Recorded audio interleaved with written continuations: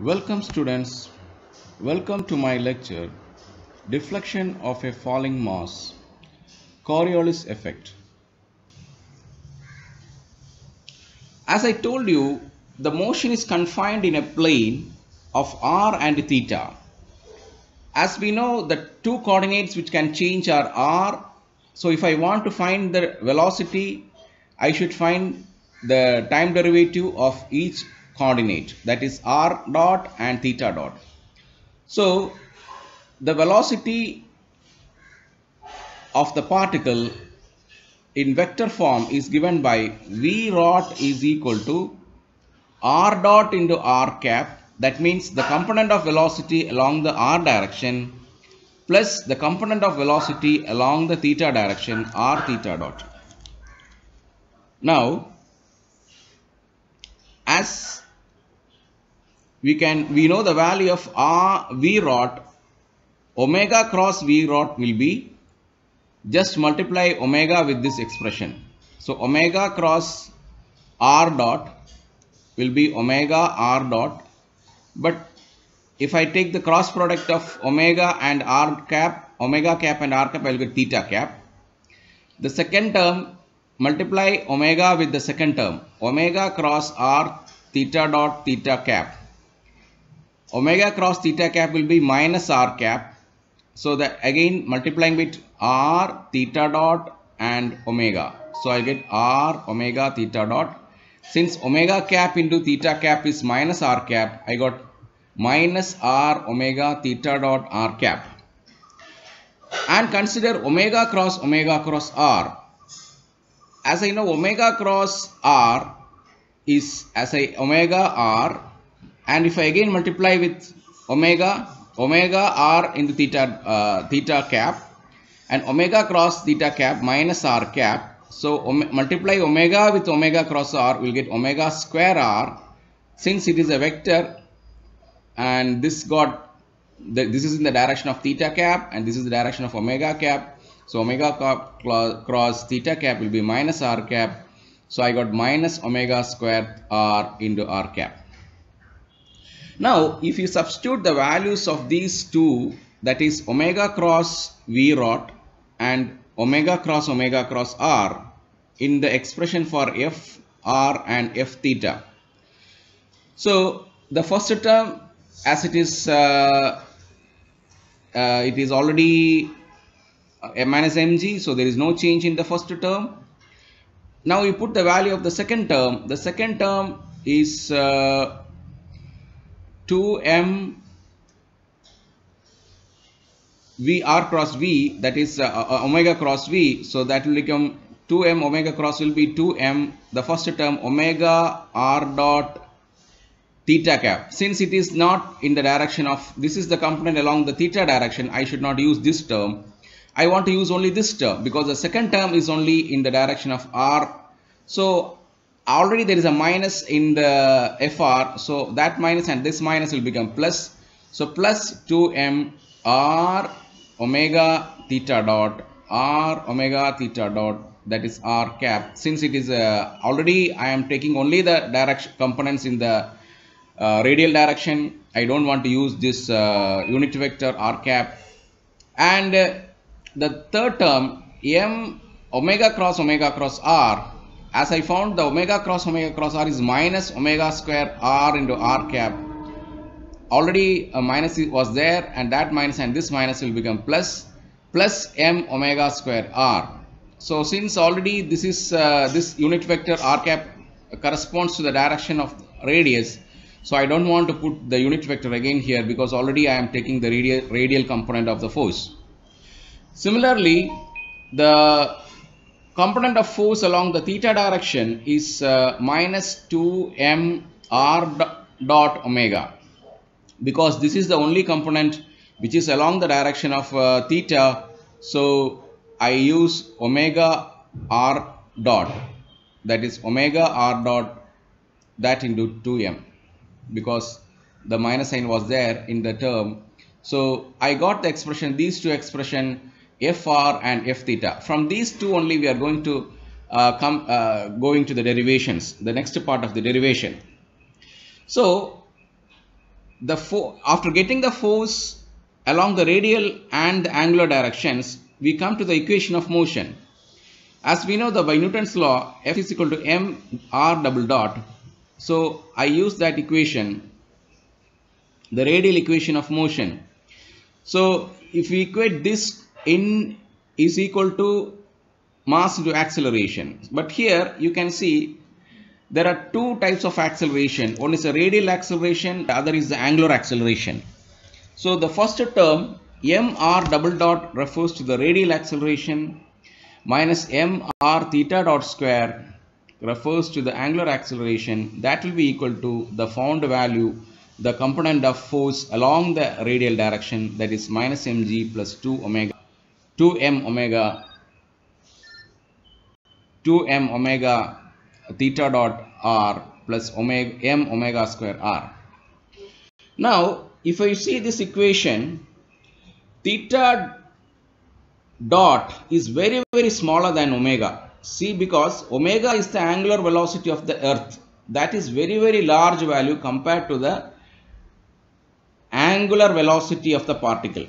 So, I can neglect the term 2m omega theta dot r in compared to the m omega square because omega itself is a very large value. If I take omega square, it will become very, very large value.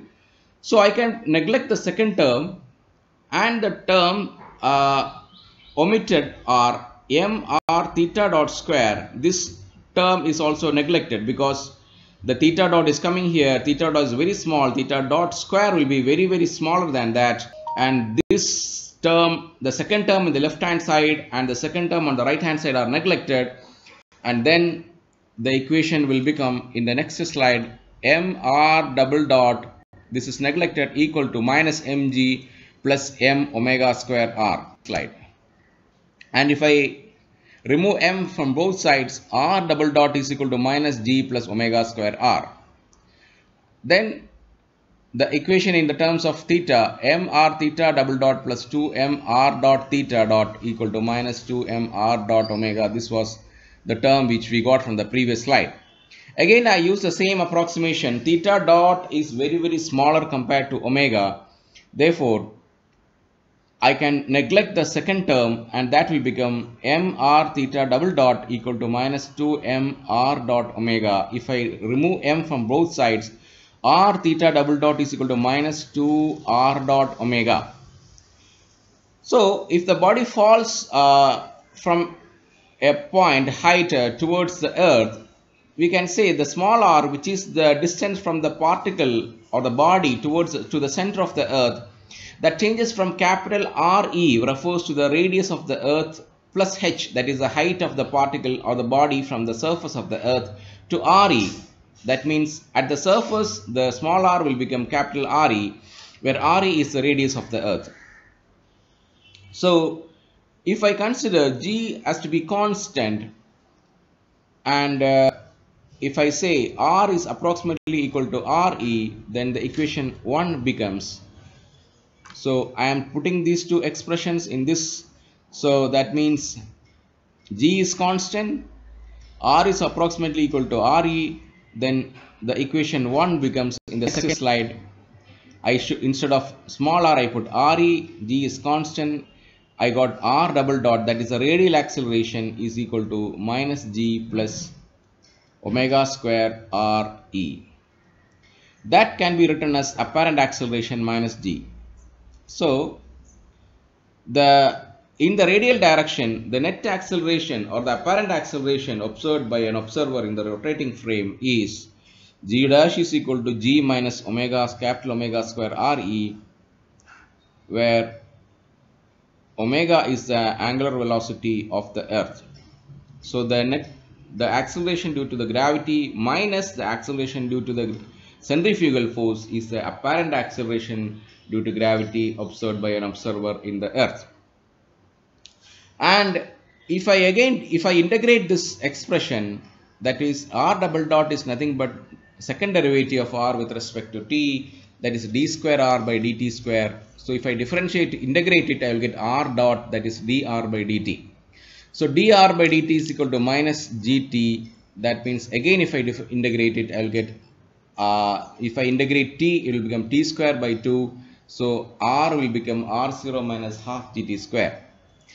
The same procedure if I do for the for the angular direction r theta double dot is equal to 2 gt omega was the equation we got and from here I got theta double dot is equal to 2g omega by r because small r is equal to capital RE that is into t. Now let us analyze these two equations. This is the theta double dot equation and r equation. So from the last slide I got the theta double dot and if I integrate it again the t was there in the right hand side. If I integrate t I will get t square by 2 so the t square by 2 the 2 and 2 cancels out. I will got theta dot is equal to g omega by re into t square. If I integrate again theta dot will become theta because theta dot is d theta by dt and uh, if I integrate d theta by dt I will get theta that is if I integrate t square, I will get t cube by 3. So 1 by 3 g omega by re into t cube. In the previous slide, we obtained the expression r minus uh, r, r0. For example, r0 is some some num, some value. That was an expression in, that was some value is uh, some that was proportional to theta. So y is approximately equal to r e theta. That means small r was there. If I put r equal to r e approximately that into theta.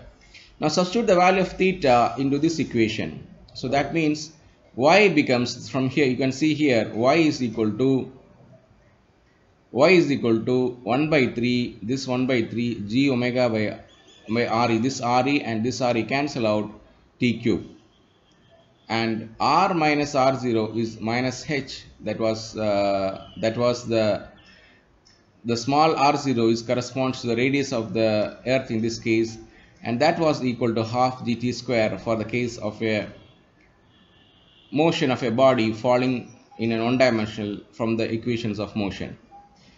That means as we know s is equal to ut plus half at square for a body dropped from a height uh, u is equal to 0 so that means s is equal to half gt square as I hear a is equal to minus g. Now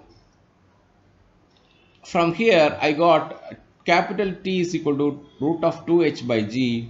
Now if I put the value of time which is got from here this time is put in this equation you will get y is equal to t is root of 2g 2h by g. So t cube will be 2h by g the whole raised to 3 by 2 1 by 3 g omega so 1 by 3 g omega 2h by g the whole raised to 3 by 2 is the expression for the deflection in the deflection of a body due to Coriolis force. For illustration I am giving for example if a height of the tower h is 50 meter I'll get y is equal to 0.77 centimeters. It is a very small, less than 1 centimeter. That is why the effect is not felt uh, very much. So even though the effect is there, the we are not we are not able to feel because it is a very sensitive and very microscopic changes, and the deflecting is uh, towards the east. So the expression, the final result is 1 by 3 g omega 2 h by. So on the the Coriolis force depends, the Coriolis deflection y depends on the height by which uh, through which the body falls. If the body falls from very very uh, large height, which h is very very large, you will get a variable deflection or a considerable deflection or y value. Uh, correspondingly, you can measure it. So with this, uh, the ends and thank you.